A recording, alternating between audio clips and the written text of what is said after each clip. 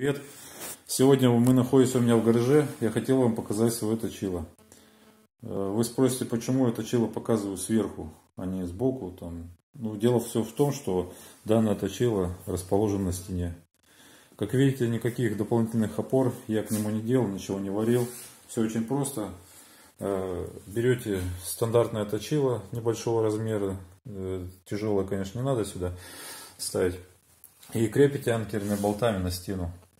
А сверху расположена кнопка. Для того, чтобы такое положение сделать, необходимо развернуть мотор точила. То есть разобрать э, достаточно просто, снять диски, э, раскрутить его и перевернуть вал двигателя. Ну, все остальное на своих местах. Кнопки, чехлы, а, искрогаситель. Все остальное на месте также все остается.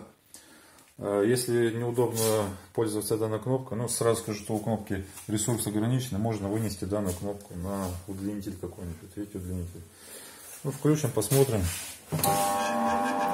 Э, я заготовил такой ключ, старый ключ.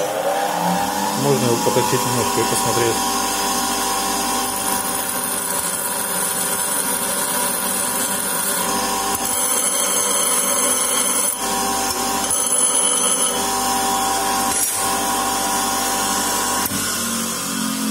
Видно, что биения никакого нет, то есть на стену нагрузка идет минимальная. Поэтому, если у вас точило небольшого размера, можно его просто закрепить на стене.